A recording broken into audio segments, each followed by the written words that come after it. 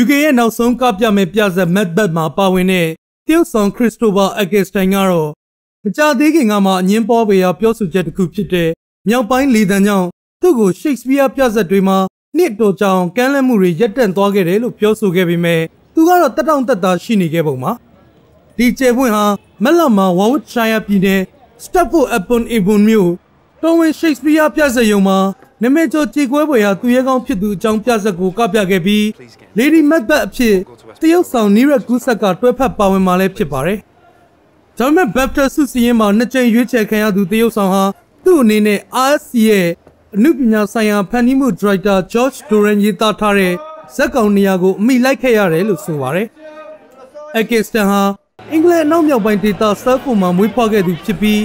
ဒီတရုတ်ဆောင်ဖြစ်သူက သူတို့ဒေတာရဲ့စကားသံဟာရှိတ်စပီးယားဖျော်ဖြေတဲ့တရုတ်ဆောင်တွေကိုရွေးချယ်ရမှာကာလာရှာချီစွာခွဲခြားဆက်ဆံခံရရတယ်လို့ယုံကြည်နေခဲ့တာပါသူက Droider Polyfilling ရိုက်ကူးတဲ့လာမဲ့ထုတ်လို့ရေးအပေါ်ကိုအကောင်းမြင်တဲ့ဘက်ကခန်းစားမိနေပါတယ် Yeah, some members of the company uh စိတ်ဝင်စားဖို့ကောင်းတာကဒီလီမစ်နဲ့ဥရောပသမဂ္ဂအဖွဲ့ကပြည်သိမ်နှုတ်ထွက်တာကိုထောက်ခံသူတွေက ကျွန်တော်ကိုမိပုံချွတ်ခြင်းနေပုံရတယ်။ဒါကြောင့်ကျွန်တော်အနေနဲ့တိတာထင်ရှားမှန်ကန်တဲ့လုပ်ရတစ်ခုကိုလုပ်လိုက်တာပါ။မှန်ပါတယ်ဒီကုမ္ပဏီထက်ကအဖွဲ့ဝင်တချို့ဟာကျွန်တော်ပြောနေတဲ့မြောက်ပိုင်းလေတံထက်တခြားတောင်ပိုင်းသားပညာတတ်လေတံတွေဖြစ်တဲ့ Nia Iris, Scotty, Scott နဲ့ Bedford လေတံကိုပူပြီးလက်ခံတင်ကြောင်းထင်နေတာပါ။ကျွန်တော်ရှိတ်စပီးယားနဲ့ကြီးလာခဲ့စဉ်တုန်းကလည်းဒီလိုလေတန်စကားတန်တွေပါရမယ်လို့မကြားဘူးပါဘူးဒါကကျွန်တော်တို့ကိုလုံးဝပယ်ချထားလိုက်တာပါ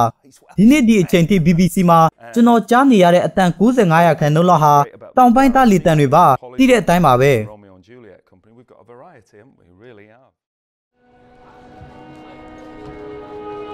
ဒီတရုတ်ဆောင်ဖြစ်သူဟာဒေါက်တာဟူးအဖြစ်အသစ်ပြန်လဲရိုက်ကူးထားတဲ့2005သိပ္ပံရုပ်ရှင် TV series မှာပါဝင်တရုတ်ဆောင်ထားခဲ့ပါသေးတယ်။သူကလိန်မျိုးစားလိုက်အတန်ကိုနားထောင်ပြီးရှင်ပြိုင်သူတွေကိုရွေးချယ်တဲ့အကြံဉာဏ်ကို